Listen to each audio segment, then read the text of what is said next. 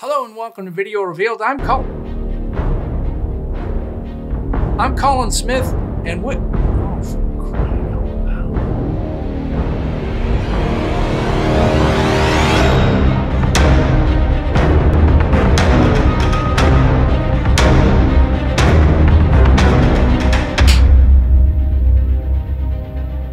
We're going to have a look at what is Cinema 4D and how you can use it.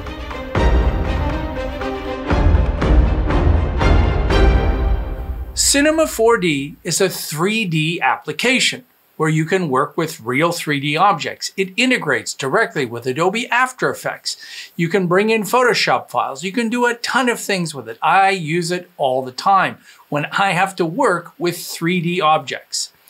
Now, I'm not going to take you through exactly how to use it. I'm going to show you what it is. Two great sites to go, Greyscale Gorilla and thepixellab.net great places for you to get in-depth knowledge. Now, there are four different versions of Cinema 4D. Actually, there's five if you count the free one that comes with After Effects. There's a light version that helps you integrate with After Effects and drop in models. It's really limited beyond that. Beyond just integrating models, its rendering is also limited, but it's great for some quick 3D. There's a Prime version, which is the uh, first version, and it's easy to use, but it is missing quite a few features the other ones have. Visualize is a great solution for architects and designers who want to visualize 3D objects in their work. Broadcast is for 3D motion graphics, and the top one is Studio, which is everything you need.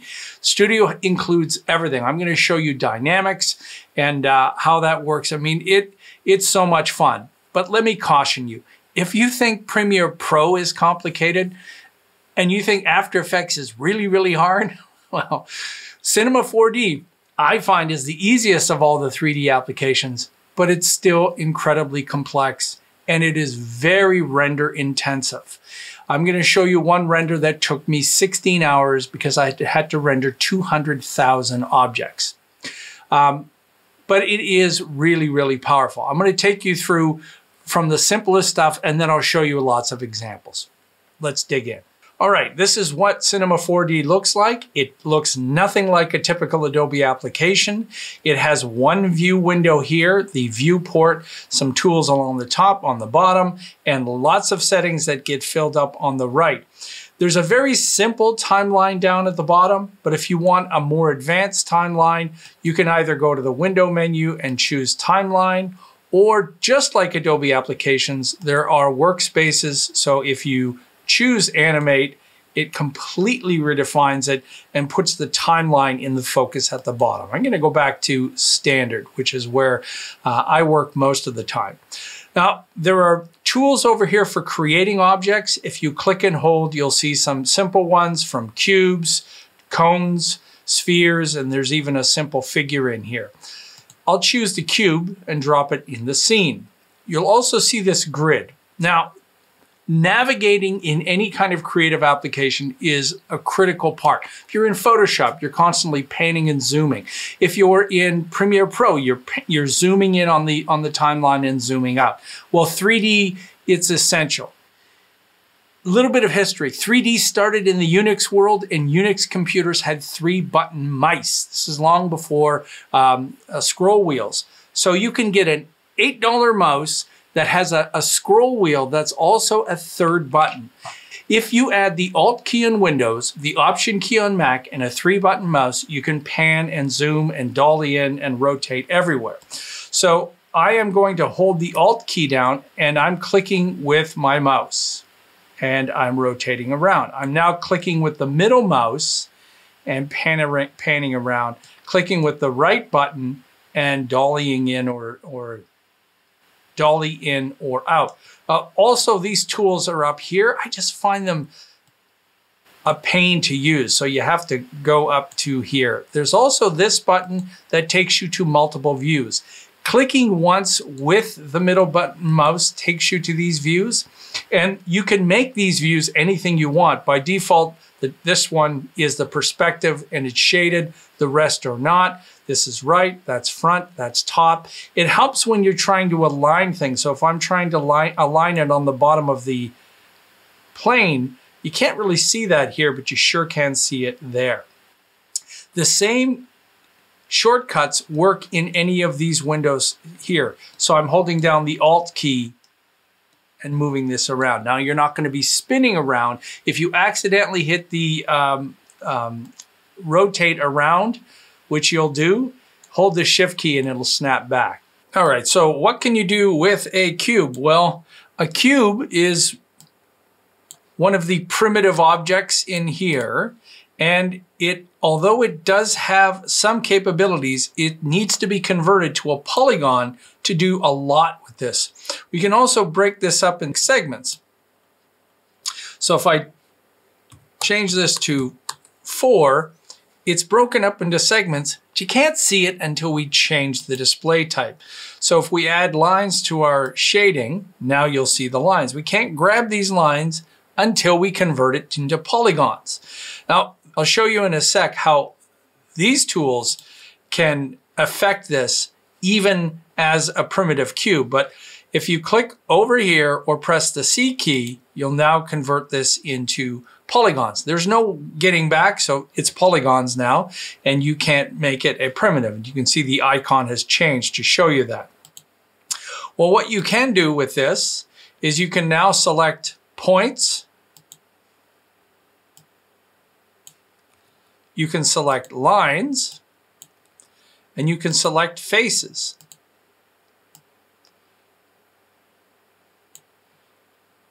And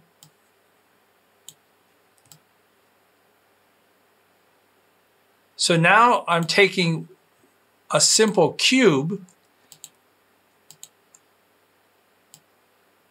and I'm modeling a new surface instead of having to try to draw this from scratch. And the most efficient way to work in any 3D object is to create stuff with primitives, uh, like cubes and spheres, and, and then manipulate those. I'll put a link uh, in the description to a great tutorial on that. All right, let, let's add a cube, a cone, and a sphere in together in one scene. And these little indicators that you see will help you move things around in your 3D scene. You can see they're colored red, green, and blue. You can see the coordinates down on the bottom left. So if I drag on the blue, I'm dragging only in that coordinate. If I drag the red, I'm dragging in that coordinate. If we add a plane to this, so we've got a floor, we can line this up. Now you can see that the plane is cutting off the sphere. And there are four different views. You can get to them with this button here, or if I click the middle mouse button, I can bring that view up. And in this right-hand view, you can clearly see that the floor is right in the middle. So we'll drag that down in the bottom. So we now have a floor. And we can either click and drag in here or in the top view, we can use this to help us position that floor. So that's why this multi-view is so important in 3D. So now we've got these three objects. I'll go back to my main view. And let's create a bit of a scene. I'm going to turn off my grid And to define these a little bit better, we'll add materials. Now, each version of Cinema 4D comes with different presets. So this is in the wood preset. I'll drag a wood on this one. You can see it adds the wood and it also adds the material down in the bottom. All right, let's go for metal. And I'll drag some car paint to our sphere and a gold surface over here. And the last one is, let's look for some tile. And I'll drag that to our floor. All right. So now we've got this scene. And if we render this, we can click on this button here or hit Control R on Windows Command R on Mac and it renders the scene. So we've got more natural looking materials, but we're really missing any real uh, shadows and, and things of that sort. So for that, we'll add a light. And you can add a target light, spotlights, sunlight. You can add an infinite light, area light. We're going to add a spotlight. And again, we're going to jump to our four up view because we can see over here, the light is not in the right location. So from the top view, we can move the light into the right place. It's not facing directly on our objects, and you can see here it's facing forward. So we're going to do a little bit of animation with our light. So I'll move ahead in my scene here, make sure the light's selected and click on add keyframe, move ahead a little bit more. And instead of the move tool, I'll grab the rotate tool, which is the R key. And if I rotate this light down, you can see that we get a light. Set another keyframe, go back to the beginning, hit play, and you'll see the light will move.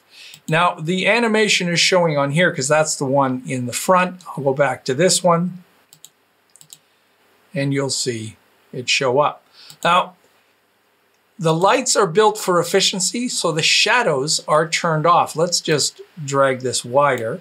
The shadows are turned off, so if we click on the light, go to General, and, oops, go to, yes, uh, Shadows, and we'll change this to Soft. Now when we render this, we'll see the shadows.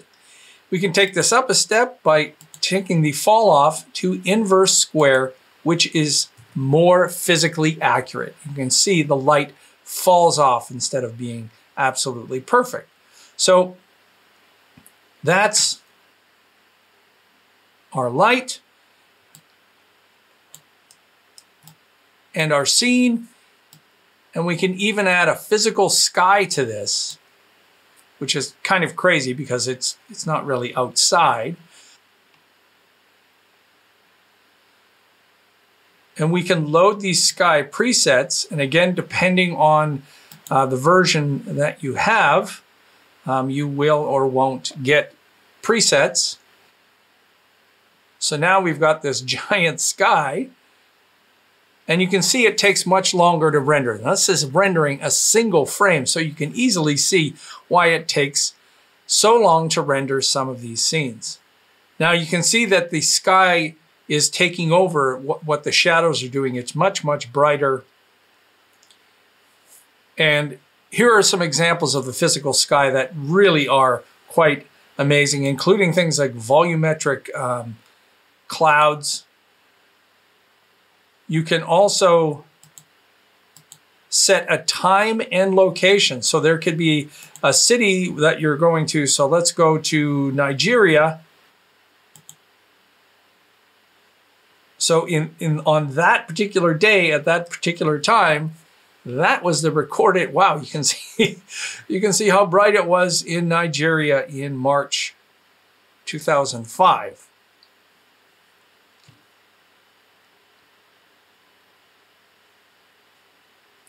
All right. Let's go back to our cube and show you another thing that's important when you're working with the versions, I want to show you some of the things you get in uh, Studio and Visualize, and, and the MoGraph menu really is powerful. So as an example, we've got our shape here. Let's go back and make this wood again.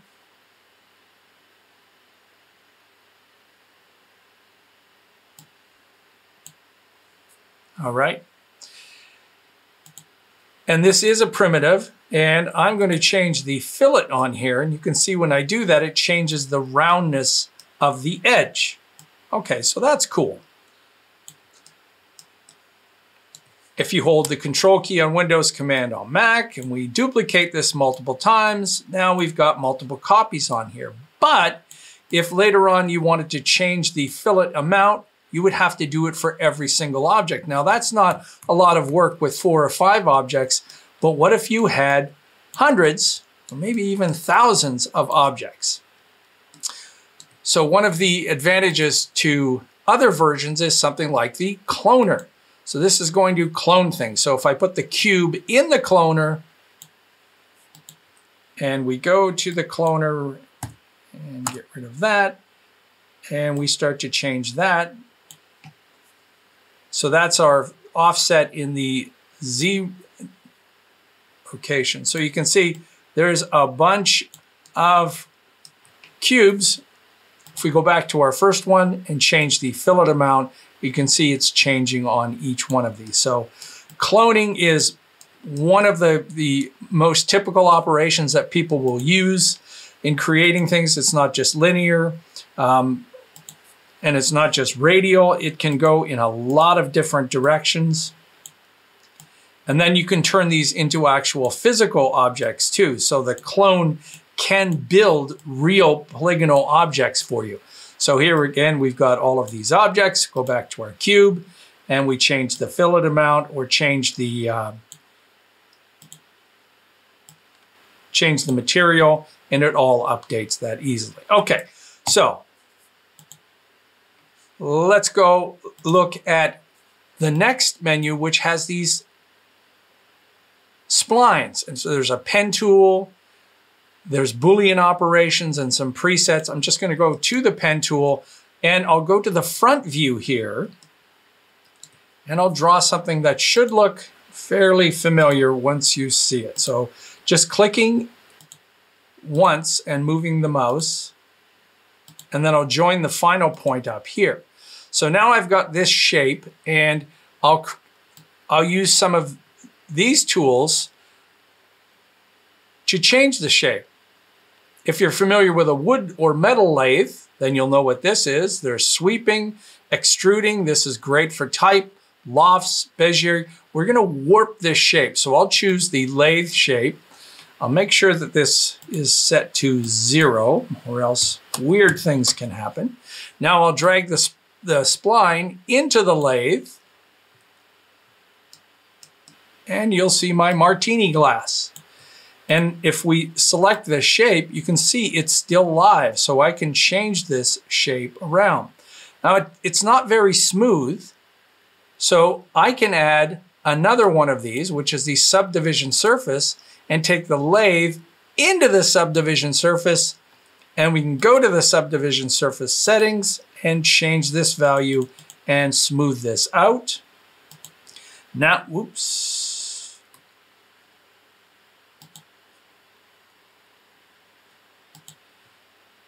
Now when we go back to our spline and edit this, now i have got a lamp, now I've got a weird cone thing here. So all of these shapes are editable and much easier to create and more dynamic than if you tried to model these with just separate objects.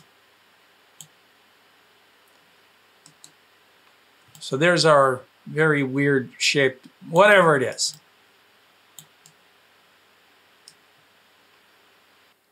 Let me show you another uh, quick manipulation.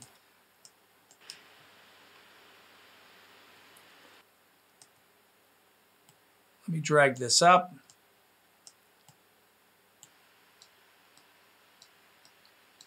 And this time I'm going to choose, I'm going to go all the way over to this one where we can modify by things like bending, twisting, melting, shearing, taper. I'm going to choose bend. And by default, again, it does nothing. Now with bend, we need to put it inside the cube. So now I'll click that in the cube. You'll notice the shape does not correspond to this tall shape. So I'm going to go back to my multiple views here. And if you look at the bend, there's the cube. There's the bend. It's way over there.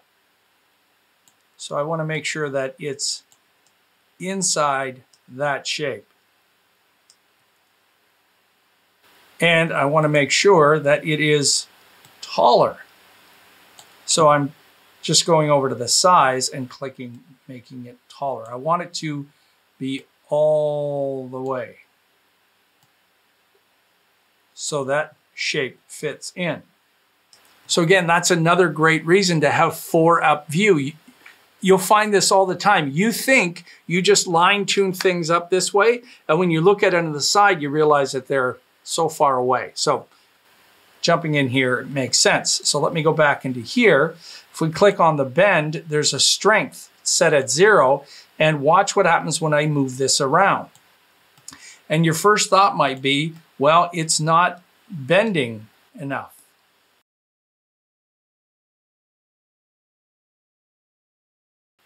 So if we go back to the cube, right now it's set on one segment here. If I change this to two, it's now going to bend.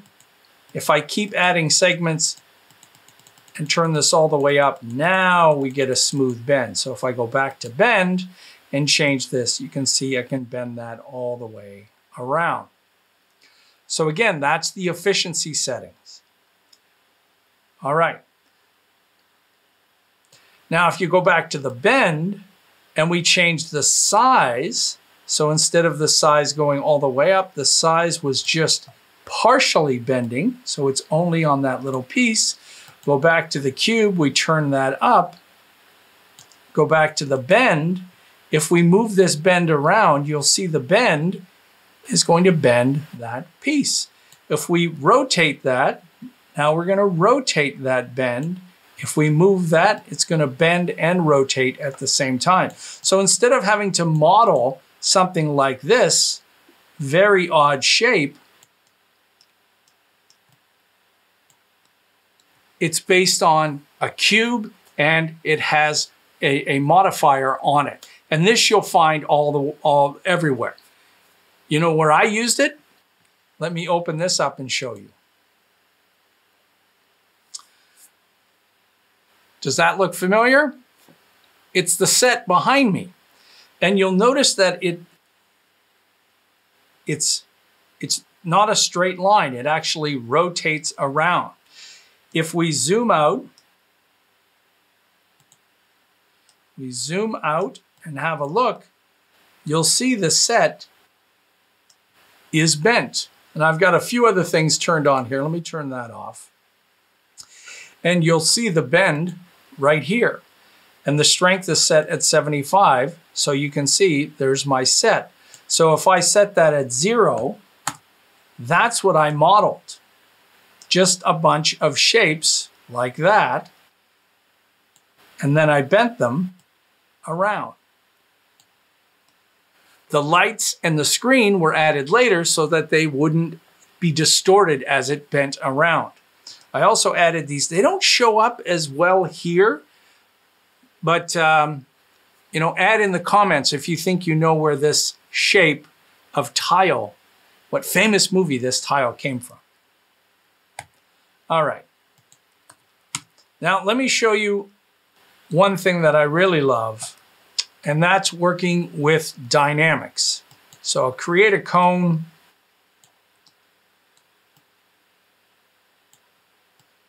I'll create a plane.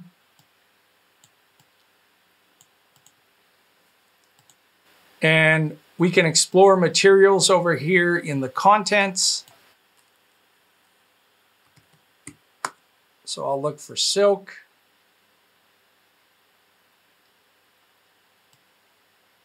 I'll put the silk on here and let's look for stone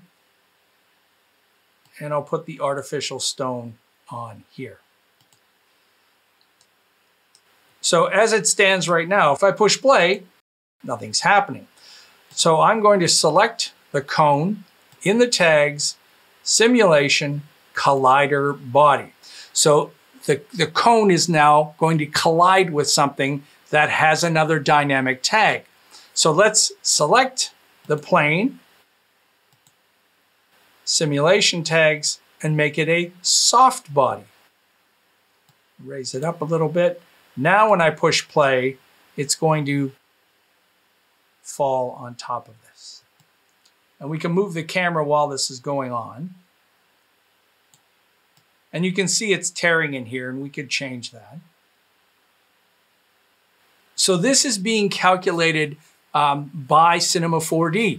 It allows me to change things like gravity, friction, um, viscosity, air, the friction on the silk, the friction on the cone. Um, we could add another object below this. So if we, instead of having it um, with that, and again, does that look like it's right above the cone? Is it?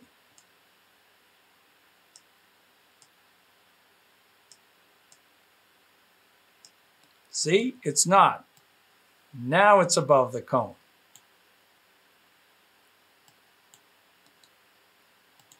Let's turn this one into a soft body and see what happens. Oh. And if we increase the animation, so instead of 90, let's go to 200.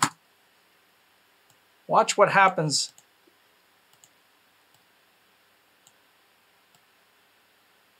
Is it going to stay on there? Oh, it will. So it's sticking on there. So let's move it over a bit and now find out what happens. Oh, there it is. And it will fall infinitely all the way down there unless we make a floor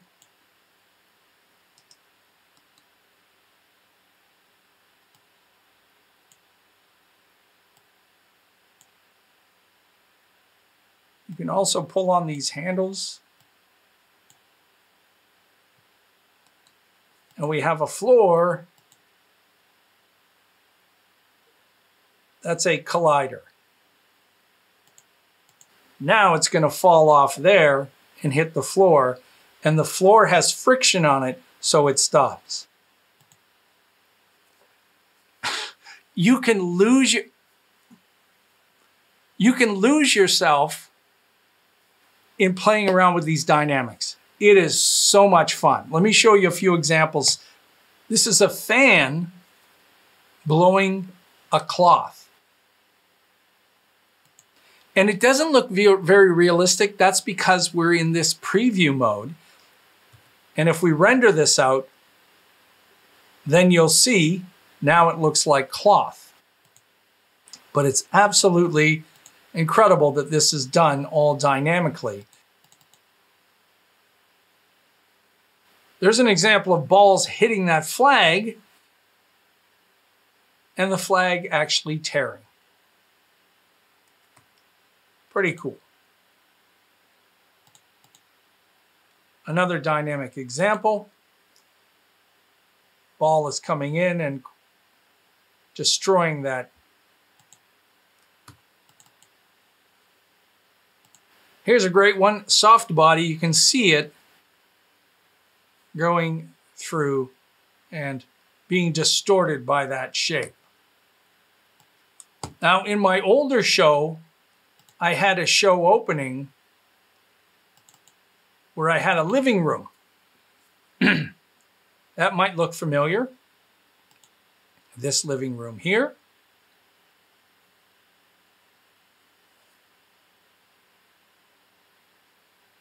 Let me just speed this up. So we fly over the couch, down behind the cushions, and up and over.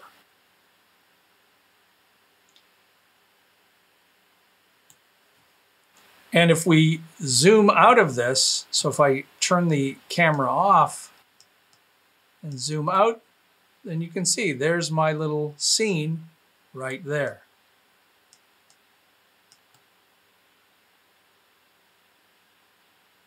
All right. Another place I used it was when I needed to create a 3D dojo. This was the dojo that I used, and I brought in green screen footage in the front, and that would be the background. So there's no way I could have uh, created the accuracy of this, the perspective of this in any other program. A 3D program was so much easier. And this was a, a, um, a free model that I imported and I just removed any elements uh, that were in the background that I didn't need. And one of my biggest projects that I worked on was this 3D quarry. Let me just turn off my grid here for a second. And this quarry was created and exported out as a VR project. So you could wear VR goggles and you could experience the size of this quarry because people didn't know the size of this quarry because they would look at it on a piece of paper and it's deeper than Niagara Falls or it's going to be deeper if they build it which we don't want them to build it. And the only way to get people to experience this would be to go to the quarry before it's built.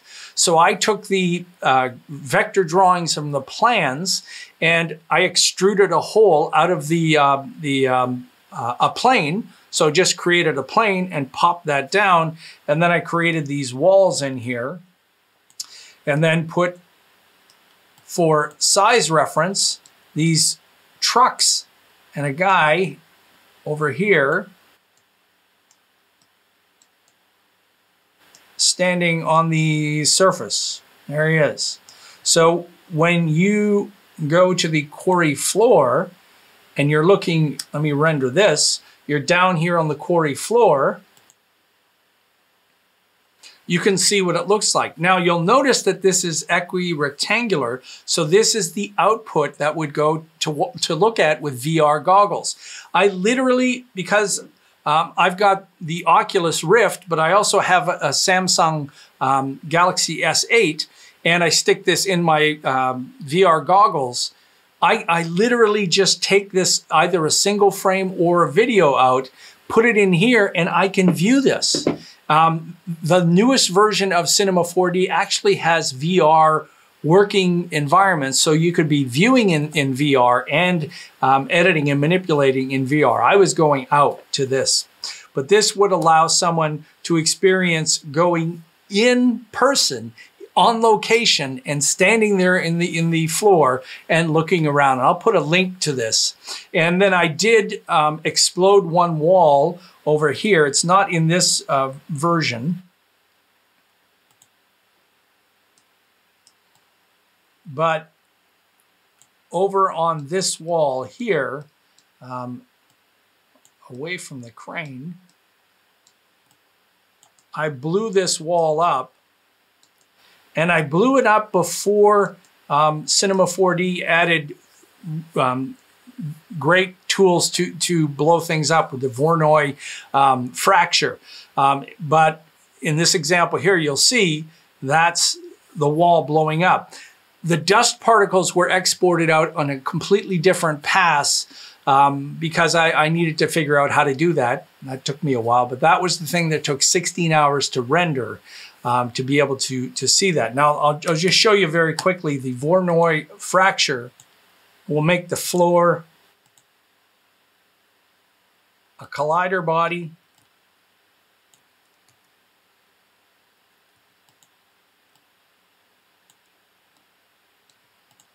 And now let's grab the sh shape. And this MoGraph menu will be one of the menus you will not see a lot of these features in the free version that comes with After Effects. But here's the Voronoi fracture object. So the Voronoi fracture is not in the cube yet. We need to put the cube into the Voronoi fracture, and you can see it gives us this view here. And we go to the Voronoi fracture, and then we add a rigid body to this. So when we play this back, it breaks apart. And if we go back to the Voronoi fracture, there's lots of ways of uh, setting up this object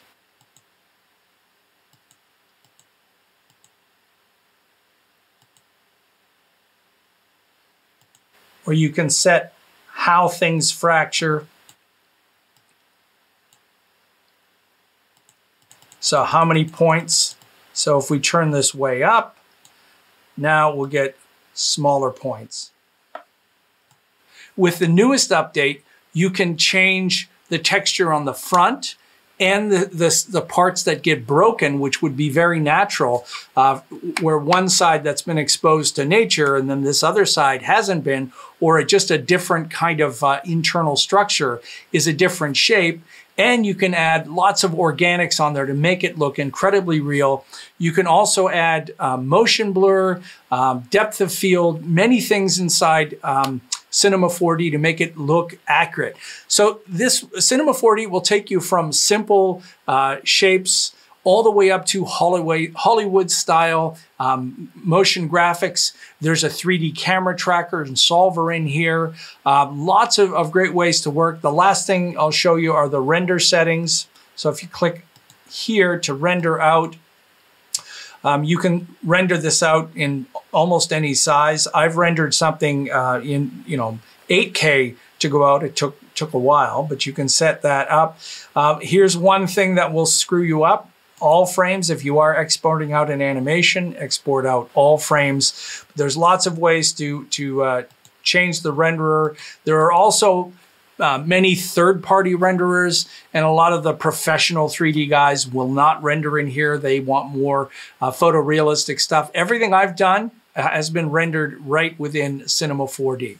So anytime I need to create an accurate three-dimensional um, thing, and sometimes it's a uh, background object. One time it was a sink. So if you look here, I needed a sink and I needed a tap for this talking character, um, which I'll do a future tutorial on that. Instead of you know, starting from scratch, I created those things directly in Cinema 4D.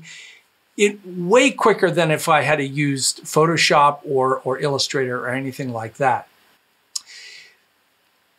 I think there's a great benefit in learning some level of 3D. Um, get ready for a giant learning curve. If you think video editing is complex, uh, 3D editing is way more complex. Uh, my friends will know on, on Facebook that that's where I will go for help all the time. And sometimes it's as silly as not turning on um, shadows for lights. Oh, and by the way, there's tons of lights in here. There's even uh, studios that are, already have soft boxes that you can drop in. So again, this is not how to use Cinema 4D. This is an introduction of how I use it and where, why would it be important for someone like yourself to dig into it. You can, you've got a, a, free version. If you've got a Creative Cloud account and you've got After Effects, then you already have Cinema 4D Lite. It's missing a lot of the, the cool dynamics and motion graphic uh, stuff, but uh, it is a, a pretty good integrator. All right, so there you go. There's a whole bunch of links in the description to take you to Greyscale Gorilla and the Pixel Lab. Pixel Lab, like I said, you can sign up and get a ton of, of uh, free things that are amazing. I mean, they're really, re there's that. And that fly is 3D, of course. Hopefully. Anyway, if you're new to Video Reveal and you found this informative, take a moment and subscribe. You want to support us some more, you can do that. Um, with PayPal, we've got a link on this in the description and on the front of the channel. You can donate one time or donate monthly. If you want to be notified uh, by our for our if you want to be notified of our weekly uh, tutorials, then you got to ring the bell down at the bottom to be notified. All right, till next time, I'm Colin Smith and I'm losing my mind here uh, in Cinema 4D. Got another one. Uh, because you can just have so much fun in cinema.